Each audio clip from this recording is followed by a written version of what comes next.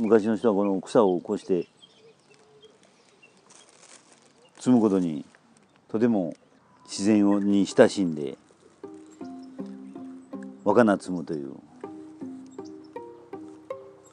野遊び優雅ですね。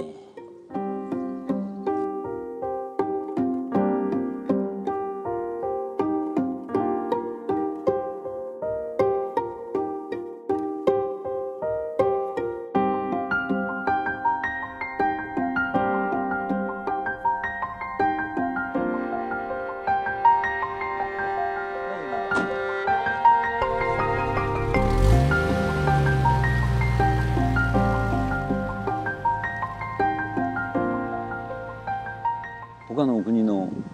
料理と日本料理と何が違うかって大きく分けてやっぱりその季節を食べるできるだけだからシンプルに食べるものが作ってそれにのせる器を季節感を出したりとかその中でその食卓の空間の中に季節を取り入れて季節と一緒にいただくというのはこれは一つの日本文化でしょう。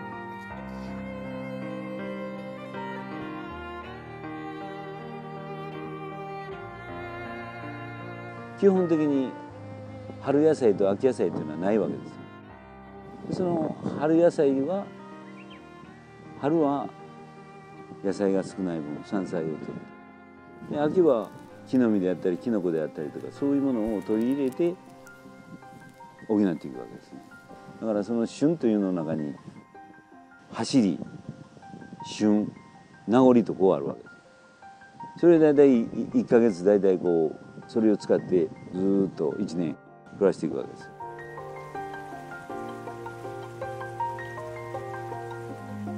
だから何でもかんでも全部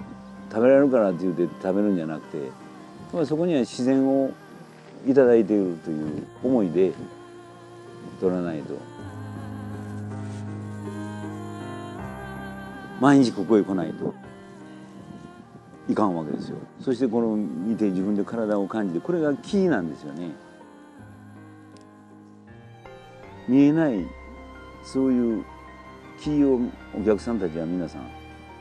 持って帰っていただく料理とともに一緒に召し上がってもらえると思うんですよ。食べるっていうのは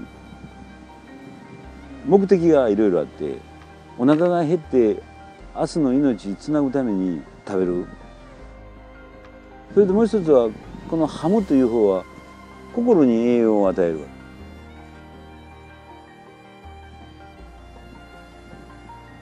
だから食べるということは人を良くする。その務めを我々はしないとダメなわけです。